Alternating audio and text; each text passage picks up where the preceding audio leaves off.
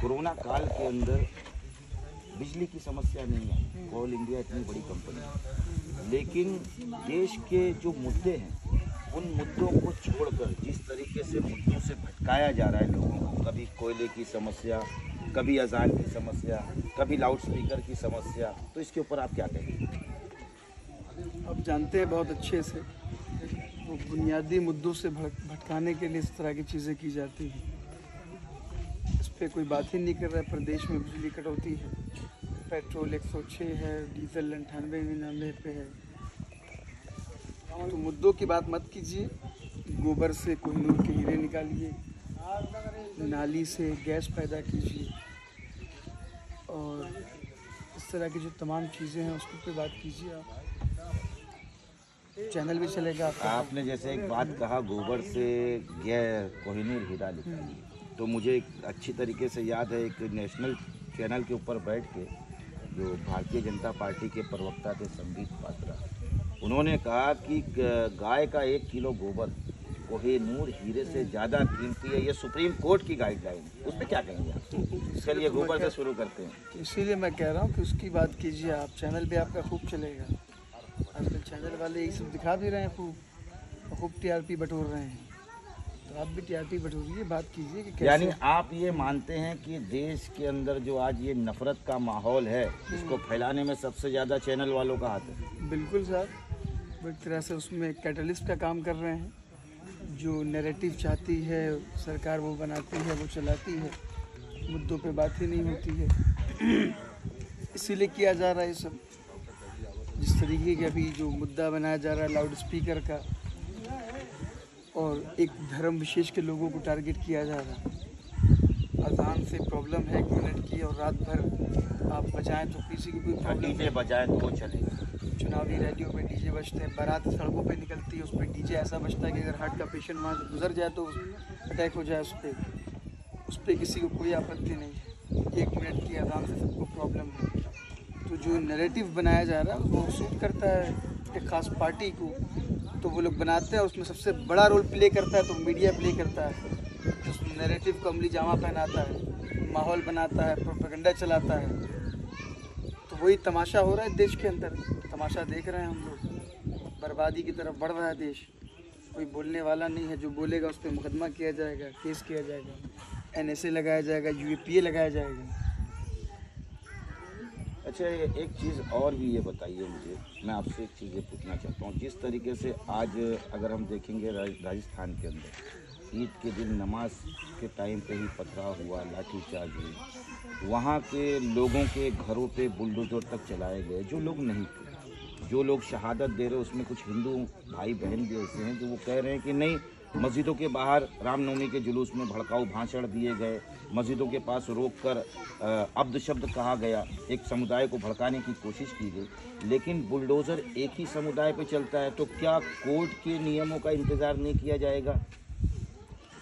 किया ही नहीं किया उस दिन जो दिल्ली में, जहांगीरपुरी में जब बुलडोजर चल रहा था, तकरीबन 11 बजे सुप्रीम कोर्ट से स्टे आ गया था उस पर रुकने के लिए।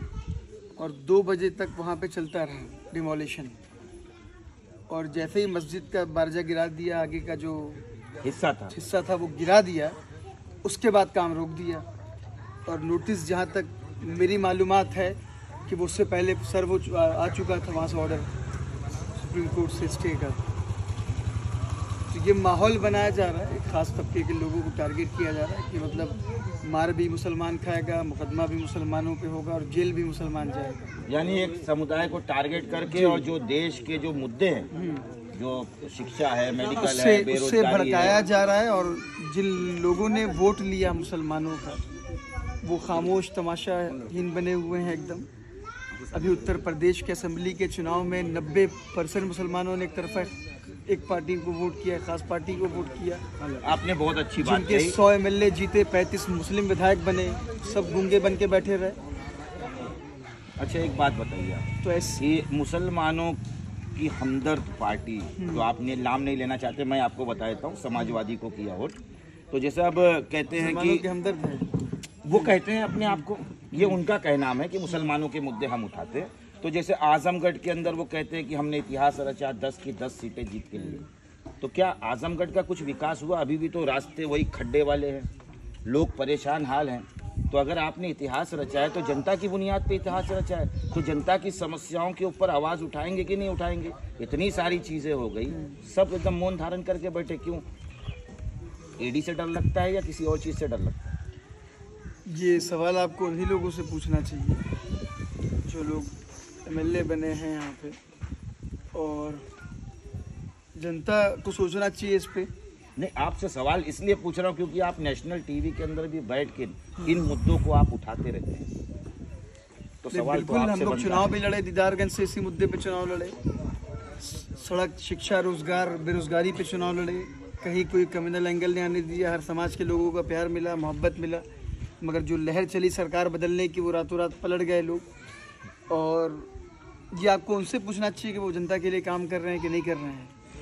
विधायक जी हैं दीदारगंज के अभी बरौना के पास एक गाँव है रमज़ान से एक हफ़्ता पहले की बात है। ये रमज़ान की बात है रमज़ान की रमज़ान की बात हाँ। वो घर पे हमला हुआ था उसके। वो रात में खास तबके के लोगों को मुसलमानों को टारगेट किया गया मारा भी गया उनको हाथ पैर तोड़े गए मुकदमे 307 के लगा के 10 लोगों को तकरीबन जेल भेज दिया गया। और विधायक जी के घर से मुश्किल से एक किलोमीटर का मामला है। वोट तो सबको चाहिए मुसलमानों का। तो मुसलमानों पे ज्यादती होगी, जुल्म होगा तो नज़र नहीं आएँगे। सिटिंग एम एल थे, मुकदमा नहीं दर्ज करा पाए क्रॉस लोगों के फेवर में। मतलब मारे भी गए मुसलमान, मुकदमा भी उन पर हुआ, जेल भी मुसलमान चला गया। तो ये पब्लिक को सोचना चाहिए, आवाम को सोचना चाहिए कि जिन लोगों को वोट दे करके विधानसभा भेजा है, वो क्या कर रहे हैं? मतलब सिटिंग एमएलए और शर्म आनी चाहिए, या तो छोड़ के चले जाए फिर राजनीति। कि आप विधायक और अपने लोगों का मुकदमा नहीं दर्ज करा पा रहे हो? पूरी रिपोर्ट सामने है वीडियोस चल रहे हैं सोशल मीडिया पे। तो गरीब कमज़ोर लोग थे जिनको मारा गया पीटा गया। यहाँ औरतों के तरावी साथ पर के लौट रहे थे औरतों के साथ बदतमीजी की गई। रात के अंधेरे में घुस करके दरवाजे तोड़े गए बच्चों को मारा गया माँ बहन की गालियाँ दी गई। ये कौन सा कानून है साहब? छः बजे के बाद आप किसी भी छापा नहीं मार सकते और घर में लेडीज़ पुलिस के अलावा जेंट्स जा नहीं सकते। क्या किया विधायक जी ने? जाके थोड़ा उनसे पूछिए। अच्छा एक चीज़ और बताइए कि आजकल सोशल मीडिया पे एक चीज़ और भी बहुत चल रही है कि जैसे अभी आज़म खान से मिलने सपा के कुछ नेता गण गए थे। आज़म खान ने उनको लौटा दिया। वहीं पर जब अखिलेश से मीडिया ने ये सवाल किया कि अखिलेश यादव जी, आज़म खान ने मिलने से मना किए। एक तरफ़ तो उनके नेता बोलते हैं कि हमें राष्ट्रीय अध्यक्ष ने भेजा। दूसरी तरफ़ राष्ट्रीय अध्यक्ष कहते हैं कि मुझे मालूम नहीं। ऐसा क्यों? कुछ बचा नहीं है अखिलेश यादव के पास। जो था इस चुनाव में हो गया। और सिर्फ़ मुसलमान ही बचा था उनके साथ। बाकी यादव लैंड उनका पूरा भाजपा में हो गया। अब देखिए मैनपुरी इटावा फिरोजाबाद, जो गढ़ था, जहाँ मुलायम परिवार पला बढ़ा पैदा हुआ, उस सरजमीन पे भाजपा क्लीन स्वीप कर गई। चालीस साल के रिकॉर्ड को तोड़ दिया इनके सारे, एक सीट बची हुई थी सदर वाली इटावा की, वो भी जीत गई भाजपा। तो कुछ बचा नहीं समाजवादी में, सिर्फ़ मुसलमान बचे थे, मुसलमान समझदार हो गया, देख लिया इसको करके भी। तो जब चिराग बुझता है तो थोड़ा सा फड़फड़ाता है तो लोग फड़फड़ा रहे हैं। और वो अपनी हरकत की वजह से हो रहे हैं। अखिलेश यादव साहब को इतना घमंड हो गया था कि उन्होंने सबसे गठबंधन किया एक परसेंट दो परसेंट तीन परसेंट वालों से। मगर 25 20 से 25 परसेंट की आबादी वाले किसी एक मुस्लिम दल को स्पेस नहीं दिया। ना ही गठबंधन किया ना ही कभी उनके मुद्दों को उठाया। और ना उनको टिकट दिया उनके लोगों को टिकट भी काटा लाइन से पूरे प्रदेश में। तो अब उनको भी समझ में आ रहा है धीरे धीरे अब ये जान ले कि जिसको भी आगे कुछ हासिल करना है तो जो मुसलमानों को हिस्सेदारी देगा अब जो हमारी नई जनरेशन आ रही है, जो नौजवान हमारे तैयार हो रहे हैं, अब इनको ये बात समझ में आ रही है। अच्छा ये भी सुनने में आ रहा है कि जिस तरीके से देश के अंदर ये जो हिंसा का एक माहौल सा पैदा किया जा रहा है उसके पीछे एक रणनीति ये भी तैयार की जा रही है केंद्र सरकार की कि एक देश, एक संविधान, एक कानून, यानी जो भी शरई कानून है एक्स वाई जेड जो भी है, उन सारी चीज़ों को ख़त्म करके सिर्फ़ एक लॉ लाया जाए। तो कैसे कर लेंगे? संविधान के खिलाफ हो जाएगा फिर? जो कॉन्स्टिट्यूशन है हमारा राइट टू फ्रीडम है राइट टू इक्वलिटी है राइट टू रिलीजन है, हर धर्म के लोग यहाँ रह सकते हैं। या तो ख़त्म कर दें संविधान को। वैसे संविधान बचा ही कहाँ है? कागज़ी उस पर बचा हुआ है सिर्फ़। जिस तरीके से आज दिन धज्जियाँ उड़ाई जा रही हैं। संविधान की कसम तो सब लेते हैं लेकिन उसका पालन कोई पालन कोई नहीं कर रहा है। देश बहुत बुरे वक्त से गुजर रहा है। अगर लोग नहीं समझेंगे तो बहुत बुरे हाल हो जाएँगे। और मुसलमानों को देखिए कोई फ़र्क नहीं पड़ने वाला है। न पहले किसी ने मुसलमानों को बहुत कुछ दिया था ना इन्होंने बहुत कुछ छीन लिया है हमसे। एक माहौल बनाया जा रहा है हमारे खिलाफ और उस माहौल से डरने और घबराने की ज़रूरत नहीं है। मज़बूत लोग हैं हम लोग। मरने मारने का फैसला ऊपर वाले के हाथ में होता है। और जो लोग इस तरह की बातें कर रहे हैं, आप सोचिए कि 800 साल तकरीबन मुसलमानों ने हुकूमत की इस मुल्क पे। जो अखंड भारत की बात आज ये लोग बड़ी बड़ी कर रहे हैं, वो मुसलमानों ने करके दिखाया है। अखंड भारत हमने बनाया है। हिंदुस्तान, पाकिस्तान, बांग्लादेश, अफ़गानिस्तान, पूरा नक्शा उठा करके देखिए उस दौर का। ये सिर्फ़ सलाहियत थी हमारी मुसलमानों की जो किया यहाँ तक कि कह रहे पाकिस्तान को शिकस्त देने में भी मुसलमान का ही बड़ा बहुत बड़ा हाथ बिल्कुल सही बात ब्रिगेडियर है ब्रिगेडियर उस्मान साहब ने अगर नहीं किया होता तो पता नहीं क्या होता उस दौर में। जो लोग इस तरह की बातें करते हैं वो अपने गिरबान में झाँक करके देखें और जहाँ तक आप सोचिए कि 800 साल मुसलमानों ने हुकूमत की उसके बाद अंग्रेज़ों ने की कभी हिंदू खतरे में नहीं था। जब से ये हृदय हिंदू सम्राट लोग सरकार में आए तो हिंदू खतरे में हो गया। तो जो लोग इस तरह की बातें करते हैं वो फिजूल है लोगों को समझने की ज़रूरत है कि जो लोगों ने 800 साल हुकूमत की अगर चाहते तो हिंदुस्तान में एक मंदिर नहीं बचता। नामो निशान मिटा देते इनका। मगर हम लोग ऐसा सबसे ज़्यादा मंदिरों का निर्माण भी मुगलों ने किया। बिल्कुल बिल्कुल सही बात है। तो पब्लिक को समझना चाहिए जनता को समझना चाहिए नौजवानों को मौका देना चाहिए। और मुझे उम्मीद है कि जो नई जनरेशन तैयार हो रही है वो नौजवानों को आगे बढ़ाएगी उनका साथ देगी। चुनाव हम लोग हारे हैं हिम्मत और हौसला नहीं हारे हैं। अच्छा एक आखिरी सवाल है। हम्म। कि आप नौजवान भी हैं पढ़े लिखे भी हैं युवा भी हैं हर चीज़ है। तो जिस तरीके का ये माहौल चल रहा है तो आप देश की जनता को मीडिया के ज़रिए कुछ संदेश देना चाहेंगे? जो बातें मैंने आपके सामने की है वही जिस वही बातें की अफवाह-। अफवाहों का माहौल जो चल रहा है।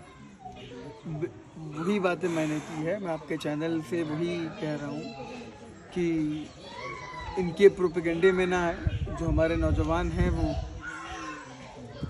पढ़ने लिखने में इंटरेस्ट लें और जो कौम के लोग पढ़ते लिखते हैं एजुकेशन में आगे रहते हैं तो उनको कोई दुनिया की ताकत रोक नहीं सकती आगे बढ़ने से।